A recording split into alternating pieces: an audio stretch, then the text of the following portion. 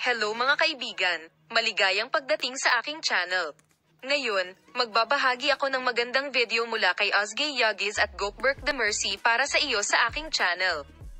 Bago lumipat sa kamanghamanghang video na ito kung saan magsasalita ako tungkol sa Ozgay at Gokberk, huwag kalimutang mag-subscribe sa aking channel, ilike ang aking video at ibahagi ito. Nakapagtataka, naiulat na ang Turkish actress na si Özge Yildiz ay gumawa ng isang mahalagang career move upang makipagkasundo kay Gökberk Demirci, na sinasabing kanyang romantikong partner. Ang matagumpay na aktor, na kilala sa kanyang mga papel sa sikat na serye sa TV, ay sapat na matapang na unahin ang kanyang personal na buhay kaysa sa kanyang mga profesional na gawain. Ang mga mapagkukunang malapit sa aktres ay nagsabi na nagpa siya si Özge Yildiz na baguhin ang kanyang landas sa karera upang ayusin ang kanyang relasyon kay Gökberk Demirci.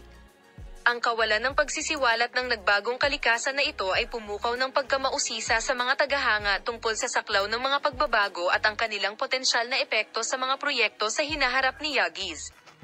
Habang sina Özge Yildiz at Gökberk Demirci ay nasa gitna ng mga alingaungaw ng relasyon, ang punto kung saan ang Ozgi Yuggies Career Movement hashtag ay nakakuha ng malaking pagpapahalaga sa platform ng social media habang ang mga tagahanga ay nagpahayag ng kanilang suporta at nag-isip tungkol sa mga motibasyon sa likod ng desisyon ng aktor, ang punto kung saan nanatili ang mga tagahanga na bighani sa kanilang on-screen at off-screen na mga pakikipag-ugnayan, ang mga bagong development sa paksa. Patuloy naming ipapakita ito sa iyo, manatiling nakatutok. Bye-bye.